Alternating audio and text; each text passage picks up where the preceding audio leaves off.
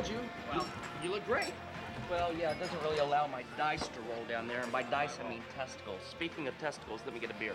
The suits are not that bad, guys. Rick, these scuba outfits make us look ridiculous. Who does this Majors asshole think he is? I'm not gonna wear this unitard. Period. Guys, I love Bull Mountain as much as anyone else, but a little change, you know, it's not gonna hurt this place. I don't know, Rick. I mean, why, why would we even want this place to change? We don't want it to turn into Aspen. Yeah, but have you seen the women from Aspen? I know. I mean, other than the occasional girl who comes here on the weekend trip, this place is a sausage factory. There are gonna be some hotties, some slamming bods with pants so tight it looks like they're painted on. Man, I love chicks. Chicks love me, so it's all good. Calm down, Lance. Look, Muntz is gonna sell this mountain and somebody's gonna buy it anyway. You have a hundred million dollars? I don't. You? No, we're not models. Guys, look, all I'm saying is that if we play ball, the mountain will still be ours.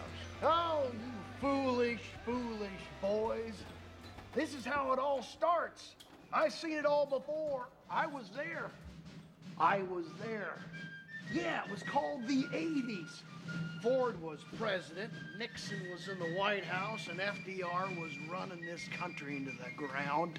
I was bumming in a hole in the wall town in what is now called Utah. Some fella from Colorado shows up, starts making so called improvements, right? Before we knew what hit us, the streets are running with latte. No. Yep, it got so bad that a fella that liked to, you know, smoke a little grass or drink a little ripple, crow like a rooster, maybe challenge the mayor's son to a gentleman's duel is uncouth against God. More like bad for real estate values. Stumpy had to go. Richard, be careful what you wish for. You got it, Stump. Be careful what you wish for. I will. All right?